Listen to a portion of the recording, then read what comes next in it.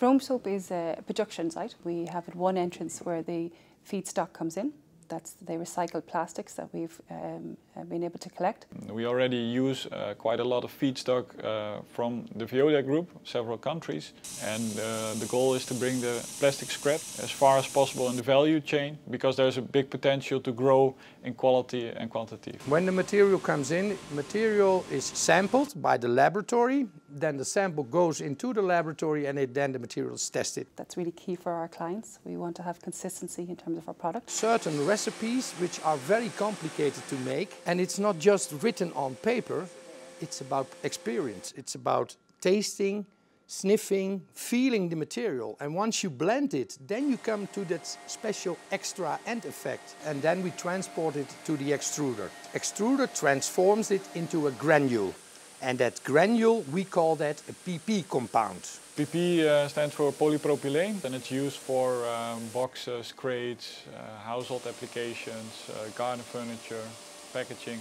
And at the very end, we also have our laboratory again, where we test our quality as the products go out and ensure that for our clients, they meet exactly their needs. We uh, produce uh, 45,000 tons of uh, PP compound per year. We have really unique people that work in research and innovation across the group and we're able to bring their expertise with the local team, create a centre of excellence and with our clients co-develop solutions for today but also for tomorrow. Our end users they don't notice any difference with virgin. Normally they have to adjust their machines to the recyclate.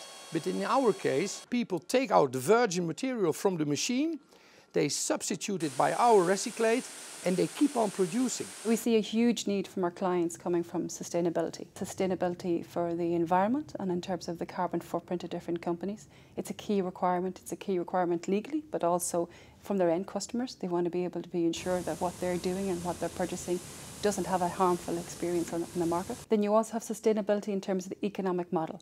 Our customers, they have a, a big advantage when they use our feedstock. It's very sustainable. It will uh, save carbon footprint for them.